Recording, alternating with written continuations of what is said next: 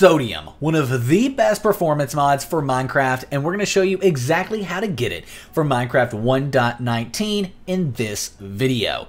As you can see, the performance increase you can get here is kind of insane, from 77 FPS to over 300, and they do have some other different FPS settings down here, and like comparisons that you can see of what this mod is actually capable of. Over 250% to over 500% increase for Sodium in Minecraft. Absolutely insane. So let's go ahead and get it installed. The first step is downloading it. You can find Sodium at the second link in the description down below. When you click that, it will take you here. And once you're here, you want to come over here to the right hand side and scroll down to the Minecraft 1.19 section. Under that, you can see Sodium Minecraft 1.19 there.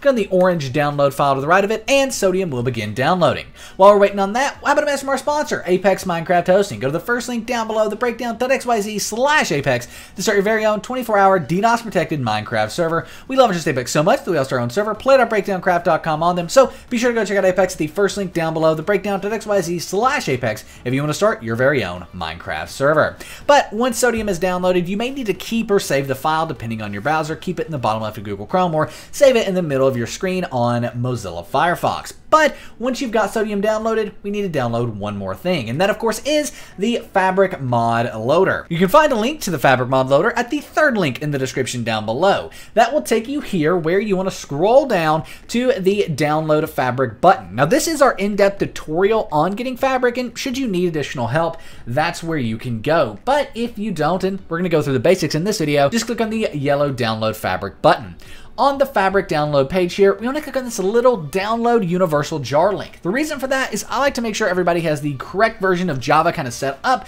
because it's going to make things so much easier for you later on. So because that, we want to make sure we download the Java version and doing that is allowing download a universal jar there. So click on that and in the bottom left, the Fabric installer is going to download. Same thing as Sodium, you may need to keep or save the file. Now we can go ahead and minimize our browser and let's move the Fabric installer as well as Sodium to our desktop. To do this, click the little Windows icon, top left of my screen, probably in the bottom of your screen, or if you're on Windows 11, the bottom center of your screen. Click on that little Windows icon, type in downloads. You have this downloads file folder here. Click on that and then drag and drop Fabric and Sodium from your downloads folder to your desktop, right like so. Now first off, we need to start off with Fabric. To do that, right click on Fabric, click on Open With, click on Java, and click OK. But Nick, I don't have Java. Or my icons, they just look weird and I don't have Java and things aren't working. What do I do? Well, that's why you need to get Java 17. Java 17 is required for Minecraft mods, including Sodium. And guess what? We have an in-depth guide in the description down below on how to download and install Java 17. Goes through everything you need to know here to get it set up. In most cases, you should be able to open up Fabric after you've got Java, but just in case you can't, you need to run the jar fix. This is going to take all the jar files on your computer and link them back to Java, making them work perfectly together, as you can see. Nevertheless, once you've got that up and running and you've got Java installed properly, we can right click on Fabric, click on Open With, click on Java, and click OK. This is going to open up the Fabric installer where we can make sure 1.19 is selected, which it is. Click Install, it's going to go through download, and boom, successfully installed Fabric Loader 1.19. Click OK, and close out of the Fabric installer. We can also delete the Fabric installer from our desktop. Now we can go ahead and open up the Minecraft launcher, and once we've opened up the Minecraft launcher, we want to go ahead and make sure we've got a Fabric profile. Now we do, right away you can see we have a Fabric profile here, but don't click play even if you do.